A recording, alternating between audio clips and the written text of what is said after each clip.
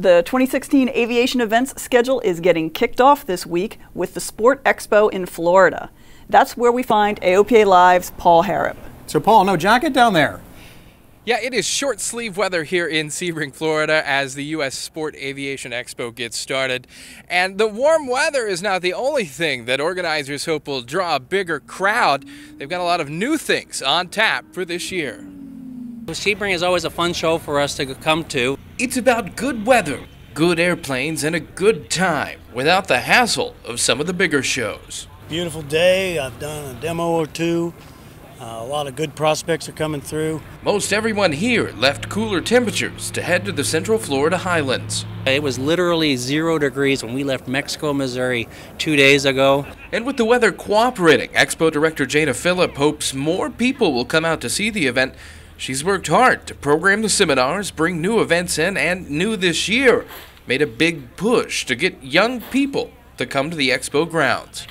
Because we're a Wednesday through Saturday show, that really only gives that one weekend day to get the students out here. So it's a little enticement. It's the students are complimentary on Saturday when they're accompanied by an adult. And we've reached out to a lot of the aero clubs and um, colleges and classes that take place in the area. A lot of the youth EAA programs are also coming in.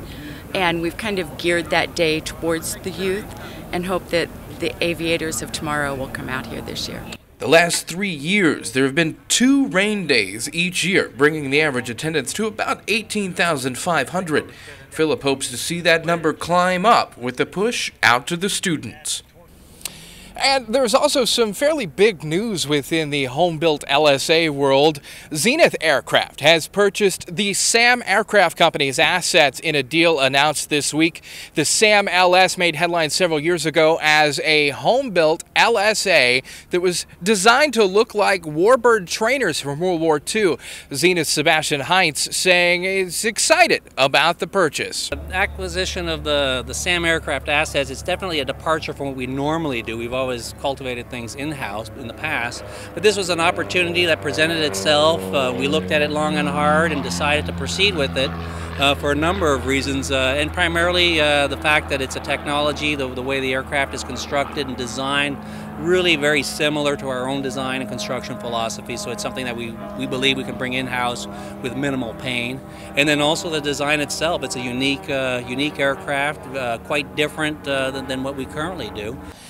Heintz says right now the company is in a market research phase, reaching out and trying to see what customers want in the SAM. They hope to have a big announcement and the airplane flying as soon as Sun and Fun. But there is another new airplane making a splash here at Expo. This is the Innovator from Commuter Craft. It is a radical design with a canard up front and side-by-side -side seating with a 60-inch cockpit. They call it a three-lifting surfaced aircraft. The connected tail is actually a lift surface, as are the wings and the canard up front. The aircraft designer hopes that it will bring a new, young audience into aviation. They're still developing the prototype model. We'll have more on that airplane in a future edition. So, a lot to see here at the U.S. Sport Aviation Expo, a lot to do, including going to a Rusty Pilot seminar by AOPA's own Jamie Beckett, followed up by a screening of Flying Again, the movie about Rusty Pilots. We've got the 152 reimagined and an AOPA tent here as well. We are going to bring you more from Expo next week, but for now, I'm Paul Harrop in sunny Florida. Back to you.